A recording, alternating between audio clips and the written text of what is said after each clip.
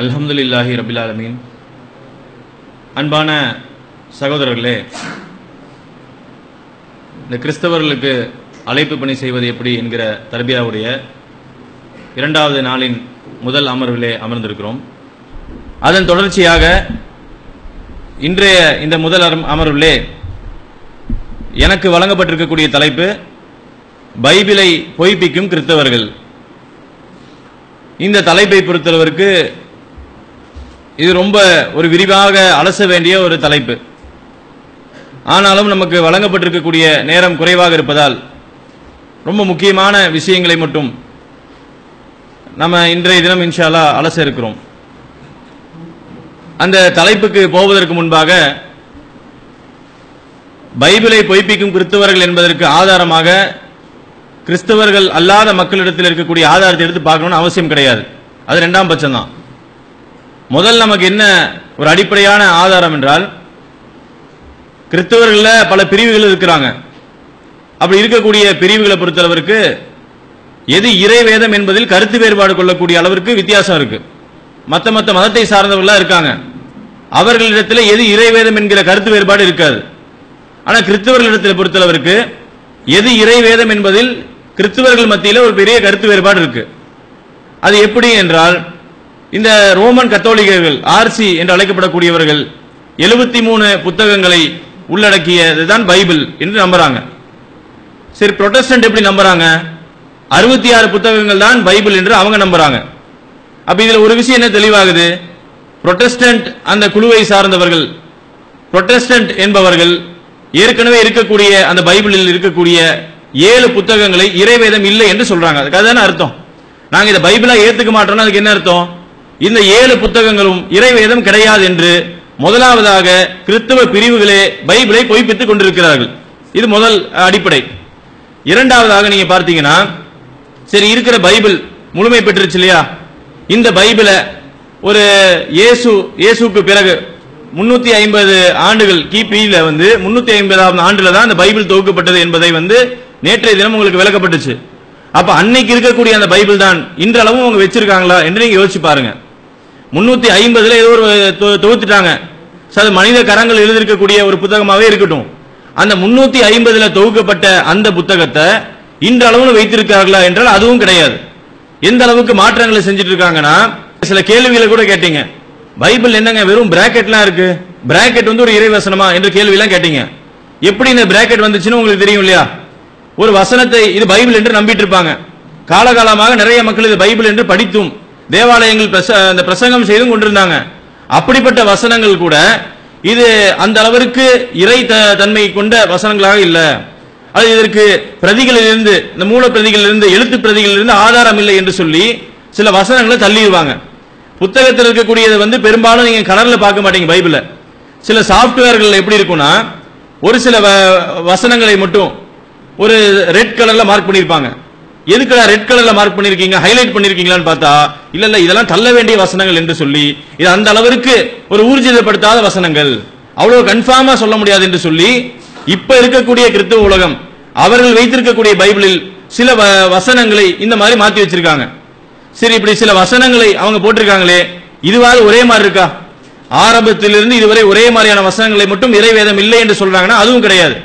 அதுவும் அப்படியே வளர்ந்துட்டே வருது. ஆரம்பத்தில் வந்து எதை இறைவேதம் என்று ஏற்றுக்கொண்டார்களோ இப்ப வரக்கூடிய நாட்களில் அது இறைவேதம் இல்லை என்று சொல்லி இப்படி தள்ளிட்டு வராங்க. இது இரண்டாவது அடிப்படை.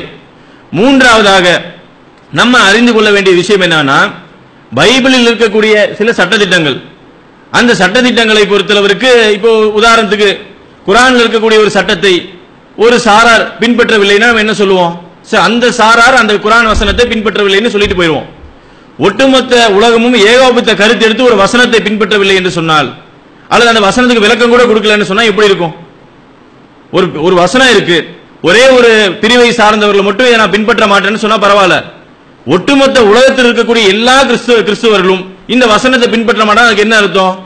அது பின்பற்ற தகுதி அற்றது என்று அர்த்தம். அப்ப ஒரு இறைவேதமாக இருக்கக்கூடியது இப்படி மனிதர்கள் நினைத்த மாதிரி இது பின்பற்ற முடியாது என்று சொல்லக்கூடிய அளவுக்கு இருக்குமா? அல்லது அதுக்கு ஏதாவது ஒரு விளக்கம் சொல்லக்கூடிய அளவுக்காவது இருக்கணும். அது இன்றைய காலத்துக்கு பொருந்தாது. அது அன்றைய அந்த சூழ்நிலையில் அருளப்பட்டது என்று சொல்லலாம். அப்படியும் இல்லாமல் சில வசனங்கள் இருக்கிறது. இதை அப்படியே இந்த வசனங்களை எல்லாம் அப்படி பேசவே மாட்டாங்க. இன்னும் பெரும்பாலும் இந்த சொல்லக்கூடிய இந்த வசனங்கள் எல்லாம் இதெல்லாம் எங்கேயும் பிரச்சாரம் செய்யவே மாட்டாங்க. அல்லது சொல்லி அதுக்கு விளக்கமாவது கொடுக்கணும் இல்லையா? இப்போ திருமலை திருமறை குரான் இருக்கக்கூடிய சில வசனங்கள். முஸ்லீம்களை தீவிரவாதிகள் தீவிரவாதின்னு காட்டுறதுக்கு என்ன பண்ணுவாங்க? அன்றைய காலத்தில் நடக்கக்கூடிய போர் சூழலில் அருளப்பட்ட சில உத்தரவுகள். அதை எடுத்து காமிச்சு இப்படி இஸ்லாமிய மார்க்கம் தீவிரவாதத்தை போதிக்குன்னு சொல்லுவாங்க. நம்ம அதுக்கு வரலாற்று ரீதியாக பதில் சொல்லுவோம். இல்லை அந்த காலத்துக்கு தகுந்தாற்போல் அருளப்பட்ட வசனம். அதே மாதிரி ஒரு சூழ்நிலை இப்ப இல்லை என்பதற்கு விளக்கம் கொடுக்கலாம். ஆனா இவங்கள இடத்துல தள்ளக்கூடிய வசனங்கள் இருக்கு இல்லையா? மௌனமாக கண்டுக்காம விட்டுருக்கக்கூடிய வசனங்கள். அந்த வசனங்களை பொறுத்தளவிற்கு எந்த வியாக்கானமும் சொல்ல முடியாத அளவிற்கு அந்த வசனங்கள் அமைந்திருக்கிறது. முதலாவதாக இந்த பைபிள் சொல்லக்கூடிய சட்டம். உபாகமம். இருபத்தி ஐந்தாவது அதிகாரம் பதினொன்று மற்றும் பன்னிரெண்டாவது வசனம். இந்த ரெண்டு வசனத்தை பாருங்க. இந்த வசனம் என்ன சொல்லுதுன்னா இப்போ ஒரு ப- கணவன் மனைவி இருக்காங்க. இந்த கணவனை யாரா தாக்கிறதுக்கு வராங்க. கணவனுக்கு ஒரு பெரிய பாதிப்பு ஏற்படுது. எவனா ஒருத்தர் அடிக்கிறதுக்கு வரான். அப்படி அடிக்க வரும் பொழுது மனைவியா இருக்கும் பார்த்துட்டு சும்மா இருக்க மாட்டால இதை சொல்லித் தரதுக்கு இறைவேதம் கிடையாது வேணும்னு அவசியம் கிடையாது. அவளுக்கா அந்த ஒரு அக்கறை வரும். கணவனை யார் அடிக்கிறான் என்று சொல்லி அவள் சக்திக்கு மீறியதாக இருந்தாலும் சரி கூட அவ போய் அதை போய் காப்பாத்துறதுக்கு முயற்சி பண்ணுவா. கணவன் மனைவி எங்கேயாவது வெளியில போயிட்டு இருக்காங்க அப்படி போகும் பொழுது கணவனை யாரோ கொல்ல வராங்கன்னு வைங்களேன். மனைவி போய் காப்பாத்துவா. காப்பாத்துறானா இவளுக்கு எல்லா கலையும் தெரியும் கராத்தா தெரியும் அர்த்தம் கிடையாது. கணவன் மேல் இருக்கக்கூடிய அந்த அன்பு போய் காப்பாத்துறதுக்கு சொல்லும். பைபிள் என்ன சொல்லுதுன்னா பைபிள் இந்த அதிகாரத்தை நீங்க படித்து பாருங்கள். இருபத்தி ஐந்தாவது அதிகாரம் உபாகமம் இருபத்தி ஐந்தாவது அதிகாரம் பதினொன்னு பன்னெண்டு வசனங்கள். புருஷர் ஒருவரோடு ஒருவர் சண்டை பண்ணி கொண்டிருக்கையில் ஒருவனுடைய மனைவி தன் புருஷனை அடித்திறவனை அவனை தப்புவிக்கும்படி வந்து ஒருத்தனை அடிச்சிட்டு இருக்காங்க அவரை வந்து காப்பாற்றும் வண்ணமாக வந்து தன் கையை நீட்டி அடிக்கிறவன் பானத்தை பிடித்து பிடித்துண்டானால் வார்த்தையே விளங்க மாட்டேங்குது. என்னன்னா ரெண்டு பேரும் சண்டை போட்டுருக்காங்க. கணவனை எவனோ ஒருத்தர் அடிக்கிறான்னு சொல்லி மனைவி வந்து காப்பாத்துறதுக்கு முன்னாடி வராங்க. அப்படி முன்னாடி வரும்போது என்ன பண்றாங்கன்னா வேற வழியே இல்லாம அந்த இன்னொரு மனிதன் இருக்கான் இல்லையா? இன்னொரு மனிதனுடைய அந்த மறைவிடத்தை போய் பிடிச்சிடறாங்களாமா இவங்க? சரி ஏதோ ஒரு ஆபத்துக்காக பிடிக்கிறாங்க. என்ன சொல்றாங்க சட்டத்தை பாருங்க. அவளுடைய கையை திரிக்கட்டுவாய். அவ கை அவ போய் எங்க அங்க பிடிச்ச அவ கையை வெட்டுன்னு சொல்றாங்க. அட புருஷனுக்கு ஒரு ஆபத்துன்னு சொல்லி காப்பாத்த போற மனைவி இதுதான் காதல் கவி சொன்னாங்க இல்லையா? ஒரு கணவன் மனைவிக்குள்ள இருக்கக்கூடிய அந்யோனத்தை சொல்லக்கூடியது. கணவன் பாதிக்கப்படுறான் கணவனுக்கு போய் உதவி செய்யறக்கா மனைவி போறா. போற நேரத்தில் சண்டை முத்துது. அந்த இடத்துல வேற வழி இல்லாம அந்த எதிரில் இருக்கக்கூடியவனை தாக்குறதுக்காக இந்த அம்மா ஏதோ செய்யறாங்க அவ தப்பு செஞ்சுட்டா அவ கையை வெட்டுன்னு சொல்லி இந்த அதிகாரம் சொல்லுது. இதை வந்து யாராவது இன்னைக்கு பின்பற்றுறாங்களா? இந்த இந்த ஒரு சட்டத்தை வச்சு இந்த மாதிரி ஒரு அழகான ஒரு சட்டம் இருக்குன்னு சொல்லி இதை யாராவது பின்பற்றுகிறார்களா?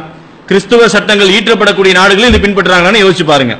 அடுத்து கிறிஸ்தவர்களிடத்துல பேசும் பொழுது அறிவியல் சார்ந்த விஷயங்கள் தர்க்க ரீதியான லாஜிக் இந்த மாதிரியான விஷயங்கள்லாம் சொல்லும் பொழுது இதெல்லாம் ஒரு இறைவன் சொல்லித் தர வேண்டிய அவசியம் கிடையாது. எங்களுக்கு இதுல வந்து ஒரு நிம்மதி இருக்கிறது. இதுல எங்களுக்கு ஒரு ஒரு சந்தோஷம் கிடைக்குது. இந்த பைபிளை படித்தால் எங்களுக்கு ஒரு சந்தோஷம் கிடைக்குதுன்னு சொல்லி சொல்லுவாங்க. அப்படி சொல்லக்கூடியவங்க இந்த பைபிளில் இருக்கக்கூடிய தத்துவங்கள் ஒரு குடும்ப வாழ்க்கைக்கு தேவையான அனைத்து விஷயங்களும் இருக்கு. ஒரு உற- உறவினர்களுடன் எப்படி வாழ வேண்டும்? நம்முடைய நெருங்கிய உறவினர்களுக்கு என்னெல்லாம் பணிவிடை செய்ய வேண்டும் என்கிற அந்த விஷயங்கள்லாம் நிறைந்திருக்கிறது. இதுதான் இறைவேதம் என்று சொல்லி ஒரு விளக்கத்தை தருவாங்க. அப்படி இருக்கக்கூடிய இந்த விளக்கம் உண்மையான பாருங்க. லூகா பதினாலாவது அதிகாரம் இருபத்தி ஆறாவது வசனம். இப்போ இவர்களுடைய நம்பிக்கைப்படி கர்த்தருக்கு ஒருத்தர் சீடராக ஆக வேண்டும் வைங்க. கர்த்தருக்கு ஒருத்தர் சீடர் ஆகணும் அப்ப சீடர் ஆகிறதுக்கு என்ன அவர் பண்ணணும்னா அவர் பண்ண வேண்டியது இந்த இந்த கிறித்துவத்தை பின்பற்றணும் அவசியம் கிடையாது.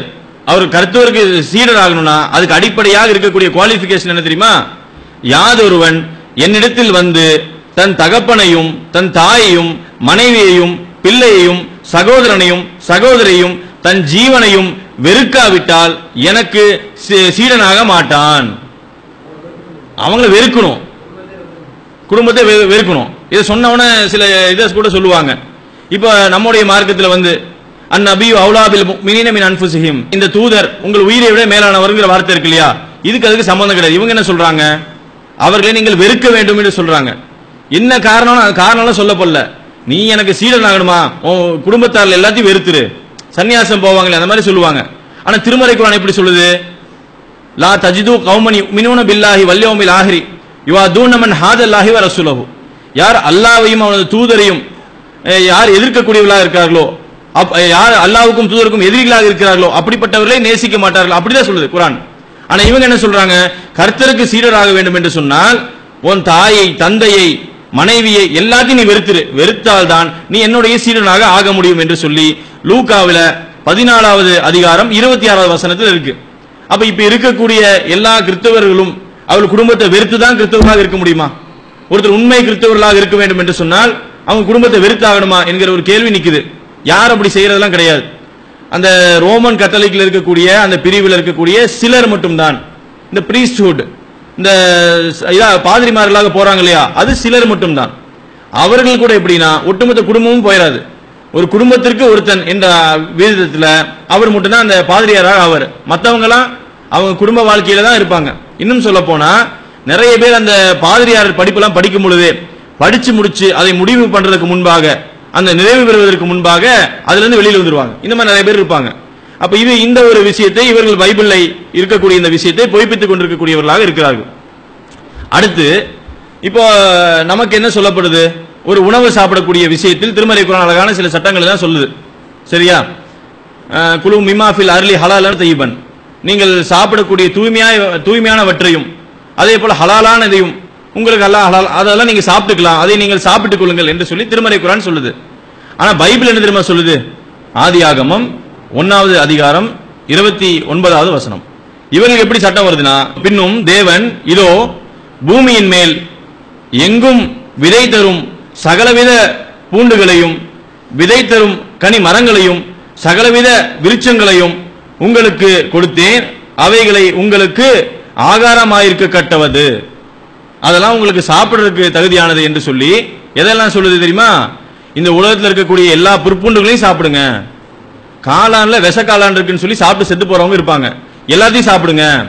அப்புறம் விதைகளை விதை தரும் கனி மரங்கள் அரளி விதை இருக்கு அதுவும் தான் விதை தருது. அரளி விதையை சாப்பிடலாமா? பைபிள் சொல்லுது. இருக்கக்கூடிய அந்த விதை தரும் கனி மரங்களை சகலவித விருட்சங்களையும் எல்லா மரத்தையும் சாப்பிடுங்க. தேக்கு மரத்தை சாப்பிடு ரோஸ் வுட்டை சாப்பிடு எல்லா மரத்தையும் சாப்பிடுங்கன்னு சொல்லி இப்படி ஒரு சட்டத்தை சொல்லுது. இதை யாரும் இவங்க பின்பற்றது கிடையாது. அப்ப பைபிளை இவர்கள் பொய்ப்பித்துக் கொண்டிருக்கிறார்கள் என்பதற்கு இது ஒரு எடுத்துக்காட்டு. குறிச்சிட்டீங்களா? ஆதி ஆகமம் ஒன்னாவது அதிகாரம் இருபத்தி ஒன்பதாவது வசனம். அடுத்து வந்து ரொம்ப அற்பு- அற்புதமான ஒரு சட்டம்.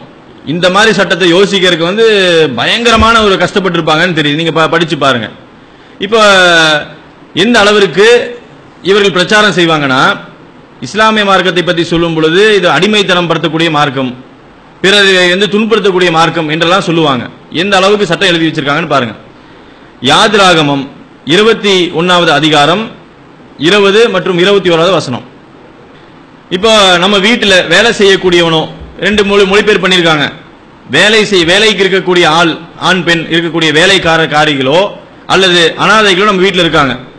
இப்படி இருக்கும் பொழுது அவர்கள் ஏதாவது தப்பு செஞ்சாங்கன்னா அப்போ என்ன செய்கிறாங்க அந்த எஜமானங்களை அடிக்கிறாங்க. இப்ப எஜமான்கள் அடிச்சால் எப்படி சட்டம் கடுமையா வச்சிருக்காங்கன்னா இந்த எஜமானன் அவங்க வீட்டில் இருக்கக்கூடிய ஊழியம் செய்யக்கூடிய வேலை செய்யக்கூடிய ஊழியம்னா இவங்க செய்யக்கூடிய ஊழியம் இல்ல. வேலை செய்யறாங்களே உழைப்பு. அந்த ஊழியம் செய்யக்கூடிய வேலையில இருக்கக்கூடியவர்கள் தப்பு ஏதாவது செஞ்சாங்கன்னா அடிப்பதற்கு இவங்க அனுமதி இருக்காமா? ஆனா அப்படி அடிக்கும் பொழுது பார்த்து நடந்துக்க அப்படின்னு சொல்லுது சட்டம். என்ன பார்த்து நடந்துக்க? ஒருவன் தனக்கு அடிமையானவனையாவது தனக்கு அடிமையானவனையாவது கோலால் அடித்தாலோ அவன் கையால் இறந்து போனால் பலிக்கு பலி வாங்கப்பட வேண்டும். இப்போ ஒருத்தரை வந்து அடிச்சு கொண்டுட்டான்னு வைங்களேன். ஒரு வீட்டில் வேலை செய்யக்கூடிய வேலைக்காரரை அடித்து ஒரு கோலால் ஒரு கோலால் அடிச்சு கொண்டுட்டாங்க அடிச்சு கொண்டுட்டானா இவங்க பலிக்கு பலி வாங்க வேண்டும். இது சட்டம். சரி இது நல்லா இருக்கு சட்டம். அதுக்கு அடுத்தது இந்த சட்டத்தில் எப்படி திரும்ப தப்பிக்கணும்? சொல்றாங்க. நீ அடிக்கும் போது அவன் அடிக்கிற அடியெல்லாம் உடனே செத்துடக்கூடாது உடனே செத்தாதான் உனக்கு பலிக்கு பலி வாங்கிடுவாங்க. நீ என்ன பண்ணு? அவனை நல்லா பிடிச்சிட்டு வந்து நல்லா ஊம குத்தா குத்து. சரியா? அல்லது ஒரு ஸ்லோ பாய்சன் வச்சு கொடுத்துரு. இன்னைக்கு சாப்பிடக்கூடாது. சட்டம் அப்படி எழுதிருக்கு எப்படி எப்படி சாப்பிடுமாமா ஒரு நாளாவது இரண்டு நாளாவது உயிர் உயிரோடு இருந்தால். நீங்க இன்னைக்கு அடிக்கிறீங்க. ஞாயிற்றுக்கிழமை அடிக்கிறீங்க. ஞாயிற்றுக்கிழமை நைட்டுக்குள்ள செத்து போயிட்டானா அவ்வளவுதான். அது ஒருத்தனை வந்து தீ ஊத்தி கொளுத்திடுறீங்க. அவன் அப்படியே தீ காயம் பட்டு ஹாஸ்பிட்டல் அட்மிட் ஆகி டாக்டர் எப்படியாவது ஒரு ஒரு நாள் பாத்துக்கங்க ஒரு நாள் வரை உயிரோடு இருந்தா போதும். நீங்க சொல்லிட்டு தப்பிச்சிடலாம் ஏன்? ஒரு நாள் தாண்டி விட்டது என்று சொன்னால் உங்களுக்கு எந்த பழியும் கிடையாது. சொல்லி தராங்க. இதை இவங்க பின்பற்றாங்களா என்னன்னு நமக்கு தெரியல. அப்ப எப்படின்னா வீட்டில் வேலை செய்யக்கூடியவனை அடிச்சால் அவன் செத்துட்டானா? உடனே ஸ்பாட்ட ஸ்பாட்ல சாகணும் ஒரு ஸ்பாட்ல இறந்து விட்டால் உனக்கு தண்டனை. ஒரு ஒரு நாள் ரெண்டு நாள் ஆச்சுன்னா அவன் சாகல நாளைக்கு செத்துட்டானா? அவனுக்கு தண்டனை கிடையாது. அவனை நீங்க விட்டுருங்கன்னு சொல்லி தராங்க. அடுத்து வந்து ஆடைக்கு வராங்க. எந்த ஆடை தடை செய்யப்பட்டது அப்படின்னு சொல்லும் பொழுது ஆடையை நீங்கள் ஒன்று செஞ்சால் அந்த ஆடை வந்து ரெண்டு நூலில் ரெண்டு நூல் சேர்ந்து இருக்கக்கூடிய ஆடைகளாக இருக்கக்கூடாது. இதெல்லாம் தடை செய்யப்பட்டது என்று சொல்லி ஒரு சட்டத்தை சொல்கிறாங்க இது எதில் சொல்கிறாங்கன்னா லேவிய ராகமம் பத்தொன்பதாவது அதிகாரம் பத்தொன்பதாவது வசனம். என்ன என்ன சொல்கிறாங்க இதுலனா என் கட்டளைகளை கைக்கொள்வீராக உன் மி- உன் மிருக ஜீவன்களையும் வேறு ஜாதியோடு பொழியவிடாயாக உன் வயலிலே வெவ்வேறு வகையான விதைகளை கலந்து விதையாக சணல் நூலும் கம்பள நூலும் கலந்து வஸ்திரத்தை உடுத்தாதிருப்பாயாக. அப்போ ஒரே ஒரு இதில் தான் இருக்கணும். ரெண்டு பொருள்கள் சேர்ந்து செய்யக்கூடிய ஆடையும் அவங்க போடக்கூடாது. எப்படி? காட்டன்னா காட்டன் தான் இருக்கணும். பாலிஸ்டர்னா பாலிஸ்டர் தான் இருக்கணும். காட்டனும் இன்னொன்று ஏதாவது சேர்ந்து கலந்தாங்கன்னு வச்சுக்கோங்க அதை போடக்கூடாது என்று சொல்லி லேவிய ராகமம் பதிமூ பத்தொன்பதாவது அதிகாரம் பத்தொன்பதாவது வசனம் சொல்லுது. ஆனால் இதை நீங்க பின்பற்றுறாங்களான்னு பார்த்தீங்கன்னா பின்பற்றது கிடையாது. பைபிள் பைபிளை இவர்கள் பொய்ப்பித்துக் கொண்டிருக்கிறார்கள். அடுத்து இறைவேதம் என்று சொல்றாங்களே இந்த பைபிளில் இருக்கக்கூடிய ஒரு வசனம் ரொம்ப எல்லாருக்கும் பிரபலமான வசனம் தான். இருக்கு பதினாறாவது அதிகாரம் பதினேழு பதினெட்டு. இதில் என்ன சட்டம் சொல்றாங்கன்னா விசுவாசத்திற்கு ஒரு சோதனை. அவர்களிடம் இருக்கக்கூடிய இப்போ ஈமான்னு சொல்லுவோம் இல்லையா அரபில் இந்த மாதிரி விசுவாசம் அப்படின்னு சொல்லுவாங்க. விசுவாசத்திற்காக நடக்கும் அடையாளங்கள் அவனை என் நாமத்தினாலோ பிசாசுகளை துரத்துவான். அப்ப பேயை ஓட்டணும் என்பது இவங்க சொல்லக்கூடிய இவங்க தான் நம்பிக்கை கொண்டவர்கள் என்பதற்கு ஆதாரமாமா? நவமான பாஷைகளை பேசுவார்கள். ஏதாவது புது புதுசா பாஷையை பேசுவாங்க. அது பாஷை தெரியாத சபையில இருந்தா சமாளிச்சிடலாம். இங்க உட்காந்து வேற ஏதாவது பாஷை நமக்கு தெரியாத பாஷையில் ஏதாவது உளறிட்டாங்கன்னு நம்ம அந்த பாஷை நினைச்சிருவோம். அந்த பாஷை தெரியிறவனை கூப்பிட்டு கேட்டா அது இந்த பாஷையெல்லாம் கண்டுபிடிச்சிடலாம். அப்ப நவமான பாஷைகளை பேசுவார்கள். ரெண்டு சர்ப்பங்களை எடுப்பார்கள். பாம்புகள் அப்படியே உயிரோட பாம்புகள் வந்து கையில் தூக்குவாங்க. சாவுக்கேதுவான யாதொன்றை குடித்தாலும் அது அவர்களை சேதப்படுத்தாது. இதுதான் தெரியும். எல்லாருக்கும் தெரியும் இல்லையா? விஷத்தை கொடுத்தா குடிக்க மாட்டாங்க. இப்போ ஆனால் இது பைபிள் என்ன சொல்லுது? விசுவாசம் கொண்டவர்களுக்கு இதுதான் அவர்களுக்கான அடையாளம் என்று சொல்லுது. அப்பொழுது அவர்கள் சோஸ்திரமானவர்கள் என்றார். அப்பதான் அவங்க வந்து தூய்மையானவங்க. இதெல்லாம் செஞ்சாதான் அவர்கள் சோஸ்திரமானவர். சோஸ்திரம் சொல்லுவாங்க இல்லையா? பார்த்தோம் சோஸ்திரம் சோஸ்திரம். அப்பதான் சோஸ்திரமானவர்கள் அப்படின்னு சொல்லி சொல்றாங்க. சோஸ்திரமானவர்கள். ஆனா சோஸ்திரம் சோஸ்திரம் சொல்லிக்குவாங்க பேசும்பொழுது. அதான் முதல்ல சொல்லி கொடுத்துருக்காங்க அரளி விதையெல்லாம் சாப்பிடுன்னு. உலகத்தில் இருக்கக்கூடிய எல்லா விதையும் சாப்பிடுன்னு சொல்லி கொடுத்துருக்காங்க. அதுக்கு விசுவாசத்துடைய டெஸ்ட் என்ன? நீ விஷத்தை குடிச்சாலும் நீ சாக மாட்ட என்பதுதான் இவங்க சொல்லக்கூடிய சட்டம். இந்த விஷயத்தை பொறுத்தளவிற்கு ஒவ்வொரு விவாதத்துக்கு அவங்க வரும்பொழுது தெரியும். முஸ்லீம்கள்னா இதை கேட்பாங்கன்னு தெரியும். அது கேள்வி கேட்டா எப்படி சமாளிக்கலாம் தான் கண்டுபிடிச்சு வச்சிருக்காங்க. ஆரம்பத்துல இருந்து பாத்தீங்கன்னா முதல் முதல்ல இந்த விவாதங்கள் நடக்கும் பொழுது இது வந்து ஒரு விவாதத்தில் வைக்கப்படுகிறது. முஸ்லீம்கள் தரப்புல இருந்து வைக்கப்படுது. அப்ப அதுக்கு பதில் எதுவும் சொல்லல. புதுசா இருந்துச்சுல? பதில் சொல்லல. வர வர நாட்கள் என்ன பண்றாங்க? அந்த வசனத்துக்கு எப்படி வியாக்கானம் கொடுக்கறது? ஆ, நீங்க எங்களை சோதிக்க கூடாது. எங்களுடைய விசுவாசத்தை நாங்க சோதிக்க மாட்டோம்னு சொல்லி அப்படி மாத்துறது. அடுத்தது என்ன சொல்றாங்க? நாங்க வந்து இது வந்து குடிச்சா சாக மாட்டாங்கன்னு சொன்னா அது நாங்க உங்கள்ட்ட இப்ப இந்த எங்களுடைய சோதனை பண்ணி பார்க்கணும்னு அவசியம் கிடையாது. அப்படி ஏதோ ஒன்று வியாக்கானது சொல்லி இவர்கள் சொல்லக்கூடிய இந்த பின்பற்றதே கிடையாது. இந்த வசனத்தை இன்று வரை இவர்கள் வைத்திருக்கக்கூடிய இந்த வசனத்தை ஆனா இந்த வசனத்தை எப்படி திரும்ப காட்டுவாங்க? சர்ச்சுகள் எல்லாம் இவர்கள் தேவாலயங்கள் எல்லாம் காட்டும் பொழுது என்ன பண்ணுவாங்கன்னா இந்த பல்ல புழுங்கின பாம்பு மலைப்பாம்பு மலைப்பாம்பை யார் வேணா தூக்கலாம். ஒரு பயத்துக்காக சொல்ல இந்த அந்தமான மாலதீவ்ஸ் எல்லாம் போயிட்டு வருவாங்க இல்லையா? நிறைய பேர் மாலதீவ் எல்லாம் போயிட்டு வந்தாங்கன்னா அங்க இருக்கக்கூடிய இடத்துல ஒரு பகுதி இருக்குன்னு நினைக்கிறேன். அங்க வந்து மலைப்பாம்புலாம் கையில கொடுப்பாங்க. மலைப்பாம்பை பிடிச்சி ஒரு ஃபோட்டோ எடுத்துட்டு கொடுத்துடலாம். செல்ஃபி எடுத்துக்கலாம். மலைப்பாம்பை வச்சு ஒரு செல்ஃபி எடுத்துட்டு கொடுத்துடலாம். மலைப்பாம்பு ஒரு பெரிய மேட்டர் கிடையாது. நீங்கள் பெரும்பாலும் யூடியூப்ல போய் தேடி பார்த்தீங்கன்னா இந்த வசனத்தை போட்டு பார்த்தீங்கன்னா நான் அற்புதம் செய்கிறேன்னு சொல்லக்கூடியவன் எல்லா கையிலும் மலைப்பாம்பு தான் இருக்கும். அப்படி எழுக்க எடுக்கக்கூடிய மலைப்பாம்பு எப்படி தெரியுமா இருக்கும்? பெரிய இவனை நெருக்கிற அளவுக்கு பெரிய மலை- மலைப்பாம்பா இருக்காது. ஒரு சின்ன மலை மலைப்பாம்புல இருக்க குட்டி. மலைப்பாம்பு குட்டினாலும் ஒரு அஞ்சடி இருக்கும் இல்லையா? அந்த அஞ்சடி கையில் பிடிச்சிட்டு பயங்கரமா நான் பாம்புகளை சர்ப்பங்களை கையில் எடுக்கிறாங்க மாதிரி காமிச்சுவாங்க. இது ஒன்று அல்லது பாம்பு பல்ல பிடுங்கி வச்சிருப்பாங்க. அது கடிச்சாலும் ஒண்ணாகாது இல்லையா? இந்த மாதிரியான விஷயத்தை செய்வாங்க. மற்றதெல்லாம் செய்ய மாட்டாங்க. நவமானிய பாசை நான் சொன்னேன் இல்லையா? ஏதோ ஒன்று உளருவாங்க அது எந்த பாஷைன்னு யாருக்கும் தெரியாது இல்லையா? அது ஒன்பது பாசை ஒன்பது பாசை கலந்துருக்குன்னு சொல்லி ஏதோ ஒன்று சொல்லிடுவாங்க. அப்ப இது வந்து ஒரு முக்கியமான ஒரு விஷயம். இது இந்த இன்றளவும் இந்த அழைப்பு பணி செய்யக்கூடியவர்களுக்கு வந்து இது ஒரு மிகப்பெரிய ஒரு அஸ்திரமாக இருக்கிறது. அப்ப இதுக்கு இதுவரையும் பதில் கிடையாது. எந்த ஒரு லாஜிக்கான பதில் கூட கிடை- கிடையாது இதுக்கு. பைபிளில் என்ன சொல்லுதுன்னா ரெண்டு விஷயத்த சொல்லுது. அவங்க வந்து கடவுளுக்கு வழிபடக்கூடிய இந்த பிரேயர் பண்றாங்க இல்லையா? ஜெபம் செய்யக்கூடியதை வந்து மத்தேயு ஆறாவது அதிகாரம் ஆறாவது வசனம். இது என்ன சொல்லுதுன்னா நீங்கள் ஜெபம் செய்யும் பொழுது கதவெல்லாம் பூட்டி வீட்டுக்குள்ள ஜெபம் செய் அப்படின்னு சொல்லி சொல்றாங்க. ஆனா இன்னைக்கு ஜப கூட்டங்கள் எங்க வைக்கிறாங்க? அது ஓபன் மைதானங்கள்ல வைக்கிறாங்க. சரி அதை வச்சுட்டு போறாங்க. அப்படி உள்ளுக்குள்ள செய்யக்கூடிய ஜபங்கள்லாம் எப்படி இருக்கு? ஒரு க- பயபக்தியோட இவர்கள் செய்யக்கூடிய ஜபம் இருக்கா? ஒன்னு என்ன பண்ணுவாங்க? இறங்குவீராக. உங்களுக்கு தெரியும் இல்லையா? இறங்கு இறங்கிடா டே இறங்குடா அப்படின்னு அந்த மாதிரி. பையன் எங்கேயாவது மேல ஏறிட்டுனா நான் சொல்லுட்டு இறங்கில இறங்கில அந்த மாதிரி. அந்த மாதிரி கடவுளை வந்து எப்படி கூப்பிடுறாங்க? இறங்குவீராகன்னு சொல்லி ஒரு அதட்டி செய்யக்கூடிய இது ஒரு விஷயம் நமக்கு எல்லாம் தெரிஞ்சுதான். ரெண்டாவது இப்ப நிறைய அந்த வாட்ஸ்அப்ல எல்லாம் ஓடிட்டு இருக்கு பாத்தீங்களா? ஆட்டம் பாட்டம் போட்டுட்டு. என்னமோ பாட்டு தான் அது பாட்டு உண்மையா இல்லையான்னு தெரியல அந்த பாட்டுக்கே ஆடுற மாதிரி. ஒரு ஃபாதர் ஆடிட்டு ஆட்டு மந்த கூட்டம் அப்படின்லாம் ஆடிட்டு இருக்க மாதிரி ஒரு பாட்டை போட்டு விட்டுறாங்க வாட்ஸ்அப்ல. இது தேவாலயங்கள் நடக்குது. இது யாரோ ஒருத்தர் த- ரெண்டு பேர் தப்பு செய்யக்கூடிய விஷயங்கள் கிடையாது.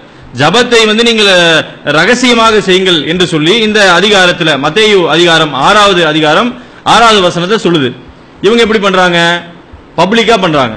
ரெண்டாவது இப்படி செய்யக்கூடிய ஜபத்தை வந்து நீங்க பப்ளிக்கா பண்ணாதீங்க அப்படின்னு இந்த வசனம் சொல்லுது. அதையும் மீறி செய்யறாங்க ஜப கூட்டங்கள் என்கிற பேர்ல பப்ளிக்காக இவங்களுக்கு என்ன வேணுமோ அதை கத்தி கத்தி கேட்கறது கத்தி கத்தி கத்தி அவர் ஆட்டம் போட்டு ஒரு கலாச்சார நிகழ்ச்சிகள் மாதிரி கலை நிகழ்ச்சிகள் மாதிரி செய்யறாங்களே தவிர இது ஒரு பயபக்தியான ஒரு விஷயங்கள்லாம் கிடையாது. ஆனா இது இவர்கள் செய்யக்கூடிய இந்த செயல்கள் எல்லாம் பைபிளுடைய இந்த வசனங்களுக்கு மாற்றமாக இருக்கிறது. சரி அடுத்து என்ன சொல்லுதுன்னா இப்போ அந்த சந்நியாசத்தை பத்தி லூக்கால பதினாலாவது அதிகாரம் முப்பத்தி மூணாவது வசனம். ஒருத்தன் கருத்தருக்கு சீடனாக ஆகணும்னா அவங்ககிட்ட இருக்கக்கூடிய எல்லா காசையும் கொண்டு போய் கொடுத்துடணும். அவங்க இடத்துல இருக்கக்கூடிய பொருளாதாரமே எதுவுமே இருக்கக்கூடாது. அவன் வந்து ஆண்டி ஆனால்தான் அவன் கர்த்தருடைய சீடன் ஆவான் என்று சொல்லி லூக்கா பதினாலாவது அதிகாரம் முப்பத்தி மூணாவது வசனம் சொல்லுது. இன்னைக்கு இருக்கக்கூடிய கிறிஸ்தவருடைய வாழ்க்கை தரத்தை கொஞ்சம் பாருங்க. ரொம்ப அதிகமான சொகுசாக வாழக்கூடியவர்களாக இருப்பார்கள். ஒரு சாரார் மட்டும் கிடையாது. பெருவாரியானவர்கள் அப்படிதான் இருப்பாங்க. அப்ப இதை அவர்கள் பின்பற்றாங்களான்னு கேட்டால் கிடையாது. இந்த வசனம் இன்றும் புது ஏற்பாடு பழைய ஏற்பாடுல கூட கிடையாது. புது ஏற்பாட்டில் இருக்கக்கூடிய இந்த வசனத்தை இவர்கள் பின்பற்றுறது கிடையாது. அடுத்து வந்து திருப்பி நம்ம குடும்ப வாழ்க்கைக்குள்ள வந்துட்டாங்க. அழகான குடும்பம் எப்படி இருக்கணும் அப்படிங்கிறதுக்கு ஒரு அழகான ஒரு வரலாறு சொல்றாங்க. என்னன்னா உபாகமம் இருபத்தி ஓராவது அதிகாரம் பத்து பதினெட்டுல இருந்து இருபத்தி ஓராவது வசனம் வரையும் இருக்கு. தன் தகப்பன் சொல்லையும் தன் தாயின் சொல்லையும் கேளாமலும் அவர்களால் தண்டிக்கப்பட்டும் அவர்களுக்கு கீழ்படியாதவனும் போகிற அடங்காத துஷ்ட பிள்ளை ஒருவனுக்கு ஒருவனுக்கு இருந்தால். இப்ப வீட்டில் அடங்கா பிடாரி பையன் ஒருத்தர் இருக்கான். அவன் அடி உ- உதைக்கும் உதவுறதில்ல. சொன்ன பேச்சும் கேட்கறதில்ல. தாய் தந்தைக்கு கட்டுப்படுறதே கிடையாது. இப்படி ஒருத்தர் இருக்கான். எது சொன்னாலும் கேட்க மாட்டேங்கிறான். அடங்காதவனாக ஒருத்தன் துஷ்ட பிள்ளை கெட்ட பையன் ஒருத்தர் இருந்தான் என்ன பண்ணணும்?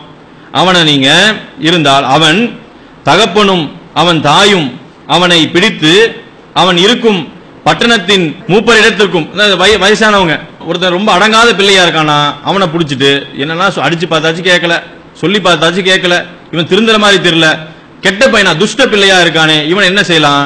அவனை தாயும் தந்தையும் பிடிச்சிட்டு அவங்க ஊர்ல இருக்கக்கூடிய நல்ல வயசானவங்கள்ட்ட கூட்டிட்டு போகணும். என்னங்க கூட்டிட்டு போய் அறிவுரை ஏதாவது சொல்லணுமா? சேச்சா அறிவுரை சொன்னா அவனுக்கு ஒரு இன்சல்ட்டிங்கா இருக்காது.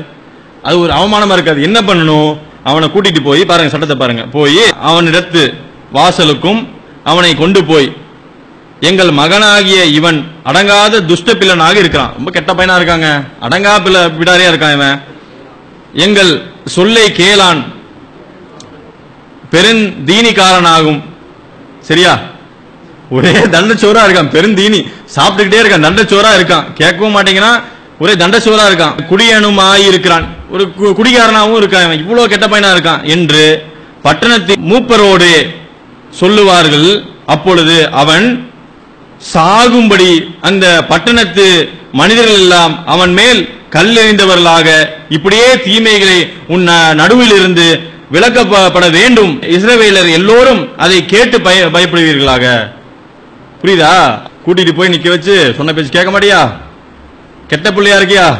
உனக்கு இதெல்லாம் உபதேசம்லாம் கிடையாது. நடுவில் கூட்டிட்டு போய் ஊருக்கு நடுவில் மத்தியில் நிக்க வச்சு எல்லாரும் சுத்தி கல் எறிஞ்சு அடிச்சு கொண்டுருங்க எவ்வளவு ஒரு அழகான சட்டம். ஏங்க வீட்டில் பையன் ரொம்ப தொல்லை பண்றான். அந்த தொல்லை இனிமேல் இருக்காது. ஏங்க அவனை திருத்திடுவீங்களா? அவனை க்ளோஸ் பண்ணிடுவோம். இருந்தா தானே சொல்ல அவன் அடங்காம இருக்கான். அவன் அடக்கிடுவான் அவனை. எப்படி நடக்கிறாங்கன்னு பாத்தீங்களா இது வந்து பைபிள் சொல்லக்கூடிய சட்டம். இது யாரும் பின்பற்றது கிடையாது. இந்த பைபிள் வசனத்தையும் பொய்ப்பித்துக் கொண்டிருக்கிறார்கள். சட்டம் எவ்வளவு அழகா இருக்குன்னு இதெல்லாம் என்னைக்கா கேள்விப்பட்டிருக்கீங்களா? எங்கேயாவது வந்து பிரசங்கம் பண்ணியிருக்காங்களா? குடும்ப சம்பந்தப்பட்ட விஷயங்கள் அவை பேசப்படுதுன்னு சொல்லக்கூடிய சபையில உங்க பையன் வந்து சொன்ன பேச்சு கேட்கலாம். நீங்க என்ன தெரியுமா பண்ணும்? அவனை கூட்டிட்டு வந்து அடிச்சு கொண்டுருங்க சொல்லுவாங்களா? எல்லாரும் ஓடி வந்துடுவான் கிறிஸ்துவ மதத்தை விட்டு. என்னடா அது நமக்கே தவம் வந்து ஒரு பிள்ளையை பெற்று வச்சிருக்கோம். இந்த பிள்ளையை அடிச்சு கொள்றாங்களேன்னு சொல்லி யாருமே இவரை வந்து மதிக்க மாட்டாங்க. அடுத்து இந்த பெண் அடிமைத்தனத்தை வந்து தான் பெரும்பாலும் இஸ்லாமியர்களிடத்தில் அவர்கள் வைக்கக்கூடிய வாதம் என்னன்னா பெண் அடிமைத்தனத்தை வந்து ரொம்ப போ- உங்க மார்க்கம் வந்து அதிகமாக சொல்லுது என்ற ஒரு இதை கருத்து சொல்லுவாங்க. அப்படி சொல்லக்கூடியவர்கள் வந்து நிறைய இஸ்லாமியர்களிடத்தில் வந்து வைக்கக்கூடிய பொய் பிரச்சாரம் என்னன்னா பெண்களை நீங்க வந்து ஒரு மனுஷங்கமாக நடத்த மாட்டேங்கிறீங்கன்னு. ஆனால் இஸ்லாமிய மார்க்கம் தான் இந்த மறுமணம் செய்வதற்கெல்லாம் வந்து ஏற்கனவே நமக்கு ஆயிரத்தி நானூறு ஆண்டுகளுக்கு முன்பாக மறுமணம் விதவை மறுமணம்லாம் சாதாரண விஷயம் கிடையாது. அதையெல்லாம் அனுமதித்திருக்கக்கூடிய ஒரு மார்க்கம் இஸ்லாமிய மார்க்கம். இவங்க எப்படி வச்சிருக்காங்கன்னா மத்தியுள்ள ஐந்தாவது அதிகாரம் முப்பத்தி ரெண்டாவது வசனம். கணவன் மனைவி பிரிஞ்சுறாங்க. இந்த மனைவி திரும்பவும் திருமணம் செய்தாலோ அல்லது இவன் திரும்பவும் வேற திருமணம் செய்தாலோ அவன் செய்யக்கூடியது விபச்சாரம் அப்படின்னு சொல்றாங்க. நான் உங்களுக்கு சொல்லுகிறேன் வேசித்தன முகாந்திரத்தினால் ஒழிய தன் மனைவியை தள்ளிவிடுகிறவன் அவனை விபச்சார செய்கிறவனாயிருப்பான். அப்படி தள்ளிவிடப்பட்டவனை விவாகம் பண்ணுகிறவனும் விபச்சாரத்துக்குரியவனாக இருப்பான். சரியா? அப்ப ஒரு மறுமணம் செய்வதை வந்து ஒரு விபச்சாரம் என்று சொல்லக்கூடிய அளவிற்கு சித்தரிச்சு வச்சிருக்காங்க. ஆனா மறுமணம் செஞ்சுதான் தான் இருக்காங்க. மறுமணம் செய்யக்கூடியவர்கள் செஞ்சுதான் தான் இருக்காங்க. ஆனா தப்பான விஷயம் அப்படிங்கிற மாதிரி ஒரு சித்திரத்தை சொல்றாங்க. உபாகமம் பதினேழாவது அதிகாரம் ரெண்டுல இருந்து ஏழாவது வசனம். நிறைய முகநூல்களில் பார்த்தீங்கன்னா இப்போ சமீப காலமாக என்ன இதை போட்டுருப்பாங்கன்னா பொய்யான ஹதீஸ்களை எல்லாம் போட்டு இப்படி அடிச்சு கொள்ளணும் இருக்கே ஒரு காட்டு மிராண்டி மார்க்கம் என்றெல்லாம் சொல்லுவாங்க. உபாகமம் பதினேழாவது அதிகாரம் ரெண்டுலேருந்து ஏழாவது வசனம் வரையும் பாருங்க. அது என்ன சாராம்சம் வருதுன்னா வேற எந்த மதத்தை சார்ந்தவனாக இருந்தாலும் அவனை அடிச்சு கொண்டு அவனை கொன்று விடுங்கள் என்று சொல்லி வரக்கூடிய சட்டம். இப்போ இந்த சகோதரர் நம்ம கேட்கும் போது கூட நீங்கள் என்ன கேட்டீங்கன்னா இது பழைய ஏற்பாடா புதிய ஏற்பாடான்னு கேட்டீங்க. அது எதுக்கு அந்த கேள்வி கேட்கிறாருன்னா சில சட்டங்களை நம்ம சொல்லும் பொழுது என்ன சொல்லுவாங்கன்னா இது பழைய ஏற்பாட்டில் இருக்கிற சட்டம் அது எங்களுக்கு பொருந்தாது அப்படின்னு சொல்லி சொல்லுவாங்க. இது இவர்கள் சொல்லக்கூடிய வியாக்கியானம் சரியா? உதாரணத்துக்கு சொல்றதாக இருந்தால் விருத்த சேதனம் செய்யக்கூடிய சட்டம் வந்து அது எங்களுக்கு பொருந்தாதுங்குவாங்க. ஆனா பைபிள் சொல்லக்கூடிய அடிப்படையில் விருத்த சேதனம் என்பது ஆபரஹாம் காலத்திலிருந்து வலியுறுத்தப்பட்ட ஒரு விஷயம். பைபிள் அடிப்படையில் பைபிளுடைய கூற்றுப்படி. ஜோஷுவா வரையும் அந்த கட்டளை வந்துகிட்டே இருக்கு. நீ விருத்த சேதனம் செய்யுங்கிற அளவுக்கு பைபிள்ல வலியுறுத்தி சொல்லக்கூடிய இந்த விஷயம். இதை இவங்கள்ட்ட போய் ஏங்க இன்னைக்கு இன்றைய இருக்கக்கூடிய கிறிஸ்தவர்கள் ஏன் இந்த விருத்த சேதனம் செய்யவில்லை என்று சொன்னா பால் வந்து என்ன சொல்லியிருக்காருன்னா விருத்த சேதனம் என்பது மர்ம உறுப்புக்கெல்லாம் பண்ணக்கூடாது. இதயத்துக்கு செய்யக்கூடிய விருத்த சேதனம் இருக்கு என்று சொல்லி ஒரு இலக்கணமா சொல்லியிருக்காங்க. ஆபரேஷன்லாம் கிடையாதுங்க. அது ஒரு இலக்கியமா. இதயத்தை சுத்தப்படுத்தணுங்கிற அளவுக்கு இதுதான் விருத்த சேதனம் என்று சொல்லி சட்டத்தை மாத்துறாங்க. என்ன சொல்லப்படுது நியாய பிரமாணத்தையோ தீர்க்க தரிசிகளையோ நான் அகற்றி விட்டேன் என்று எண்ணாதே. இது வந்து மத்தேயுல அஞ்சு பதினேழு. நான் வந்து நியாய பிரமாணத்தை மீறக்கூடியவனாக கிடையாது. அதை வந்து ஒழிக்கிறதுக்காக நான் வரல. அந்த அதையெல்லாம் உண்மைப்படுத்துறதுக்கு தான் வந்தேன்னு சொல்லி கருத்தரை சொல்றாரு. சரியா? இவர்கள் நம்பிக்கைப்படி நியாய பிரமாணத்துல வந்து என்ன நம்புறாங்கன்னா ப்ராவப்ஸ்ல இருபதுல ஒன்று என்ன சொல்லப்படுதுன்னா இது வந்து நியாயவான்கள் அல்ல என்று சொல்லி பழமொழிகளில் இருபதாவது அதிகாரம் ஒன்னாவது வசனம் சொல்லுது. மத்தேயுல ஐந்தாவது அதிகாரம் பதினேழாவது வசனத்துல முன்னாடி வந்த அந்த நியாய பிரமாணங்களையோ இந்த தீர்க்கதரிசிகளையோ நான் மீறுவதற்காக வரல அதை நான் அழிப்பதற்காக வரவில்லை என்று சொல்லி சொல்லப்படுது. பழைய ஏற்பாட்டில் இவர்களுடைய நம்பிக்கைப்படி மது அருந்துவது ஹராம். மது வந்து தடை செய்யப்பட்ட விஷயம். இயேசு கிறிஸ்து நம்புறாங்க இல்லையா? இயேசு நம்பக்கூடிய இவர் செய்திருக்கக்கூடிய முதல் அற்புதம் என்ன தெரியுமா? மதுபானத்தை காய்ச்சறது. அப்போ பைபிளை பொய்ப்பிக்கும் கிறிஸ்துவர்கள் பார்க்கறதை விட பைபிளை இவர்கள் நம்பக்கூடிய இயேசு பொய்ப்பித்துட்டு இருக்காரு. நான் அதை மீற மாட்டேன் நியாய பிரமாணங்களை எல்லாம் மீற மாட்டேன்னு சொல்லிட்டு எதை வந்து ஏமாற்று வேலை என்று சொல்லி தடை செய்யப்பட்ட விஷயமாக பழைய ஏற்பாடு சொல்லுதோ அதை நான் அதை வந்து சாதாரண விஷயமா இல்லை. ஒருத்தர் ஹைலைட் ஒரு அவருடைய என்ட்ரி அப்படிதானே? அவர் வந்து மக்களால் அறியப்படக்கூடிய மிக முக்கியமான நிகழ்வு என்பது அவர் செய்யக்கூடிய அந்த அற்புதத்தின் வாயிலாக தான். இஸ்லாமிய மார்க்கம் சொல்லக்கூடிய ஈசா அலிஸ்லாத்துக்கு வேற அது வேற. நீங்க அது- அது இது ஒப்பிடாதீங்க. இவர்கள் சொல்லக்கூடிய இயேசுவை பொறுத்தளவுக்கு அவருடைய ஹைலைட் என்னன்னா அவர் வந்த உடனே அவர் செய்யக்கூடிய முதல் அற்புதம் என்னன்னா திராட்சை ரசத்தை காய்ச்சறது. அது எப்படி வரும்னா அந்த திராட்சை ரசத்தை காய்ச்சி கொடுத்த உடனே குடிச்ச மக்கள் எல்லாம் சந்தோஷமாயிருவாங்க. இதுவரை இந்த மாதிரி சூப்பரா நாங்க குடிச்சதே இல்லையே. ரொம்ப சூப்பரா செஞ்சிட்டீங்கன்னு சொல்லி பாராட்டுற அளவிற்கு ஒரு அற்புதத்தை செய்யறாரு எதை மீறி?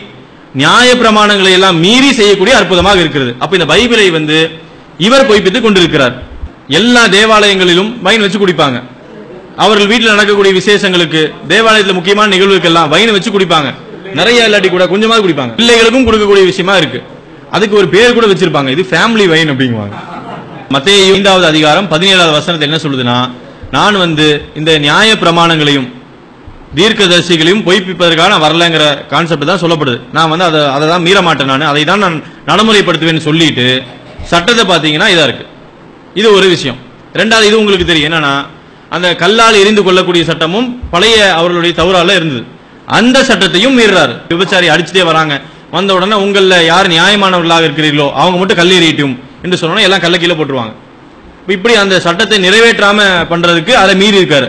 அதுவும் பைபிள் பொய்ப்பிக்கப்பட்ட ஒரு விஷயமாக இருக்கிறது. அடுத்து பாருங்க இப்போ பெருவாரியாக கிறிஸ்துவர்கள் இயக்கக்கூடிய கல்வி நிறுவனங்களில் இருக்கக்கூடியவங்க பார்த்தீங்கன்னா ஆண்கள் வந்து கல்வி சொல்லித் தரக்கூடியவங்களா இருக்க மாட்டாங்க. இனி இந்த ரோமன் கத்தோலிகள் நடத்தக்கூடிய கல்வி நிறுவனங்களை பார்த்தீங்கன்னா பிரின்சிபல் உட்பட இந்த நன் சிஸ்டர்ஸாக தான் இருப்பாங்க. அவங்க தான் அந்த கல்வி நிறுவனத்தையே நடத்துவாங்க. ஆண்களே ஒருத்தர் கூட இருக்க மாட்டாங்க. சொல்ல போனா ஒரு பிடி மாஸ்டர் மட்டும் வச்சுக்குவாங்க அவ்வளவுதான். அதை தவிர ஆண்களே இல்லாமல் முழுக்க முழுக்க அவர்களுடைய எல்லாமே வந்து பெண்கள் நடத்தக்கூடியதா இருக்கு. இது வந்து திமத்தி அதிகாரம் ரெண்டு வசனம் பன்னிரெண்டு. ஒரு பெண் கற்பிக்கவோ அல்லது ஒரு மனிதனுக்கு ஆலோசனை கொடுக்கவோ அனுமதி இல்லை. அவள் அமைதியாக இருக்க வேண்டும். கற்பிக்கவோ என்னன்னு சொன்னால் நேரடியான பொருள் வந்து டீச் பண்ணக்கூடாது. டீச்சர் வேலைக்கு போகக்கூடாது. இதை யாராவது நடைமுறைப்படுத்துறாங்களா? இப்போ நிறைய இது மாதிரியான பைபிளில் இருக்கக்கூடிய விஷயங்களை கிறிஸ்துவர்கள் பின்பற்றாத நிறைய விஷயம் சட்டத்தை பத்தி சொன்னாங்களே கை வெட்டுற சட்டம்லாம் இந்த மாதிரி இருக்குன்னு. அந்த மாதிரி ஒரு சட்டம் என்ன விதிச்சிருக்காங்கன்னா ஒரு பெண்ணை தவறான கண்ணோட்டத்தில் பார்த்தா கண்ணை பிடுங்கி கீழே போட்டுரு அப்படின்னு ஒரு சட்டம் சொல்லப்படுது.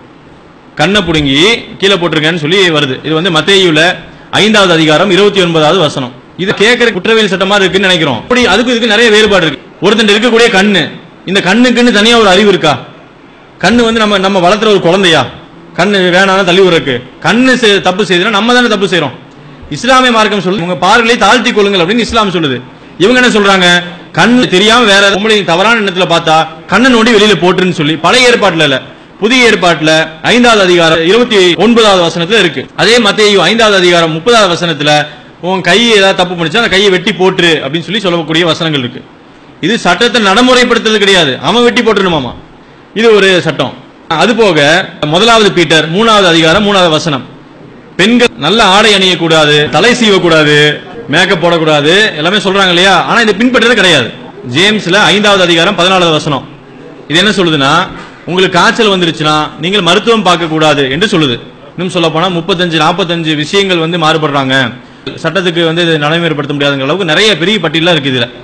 அல்லாஹூ அல்லாஹ் ரபுல் ஆலமி நமக்கு அருளி இருக்கக்கூடிய இந்த மார்க்கத்தை பொறுத்தளவிற்கு இந்த மாதிரியான நம்ம யார்கிட்ட போய் குழஞ்சு நிற்க முடியாது. இந்த சட்டத்தை ந- நடைமுறைப்படுத்த முடியாத மாதிரியான ஒரு சிக்கல் நமக்கு இல்லாமல் எல்லாம் ஏற்படுத்தியிருக்கான். இந்த சத்தியத்தை அவர்களிடத்துல போய் புரிய வச்சு இறைவேதம் என்று நீங்க நம்புறீங்க ஆனா அதையே நீங்கள் பின்பற்றுவது கிடையாது. பின்பற்றுவதற்கு தகாததா இருக்கு.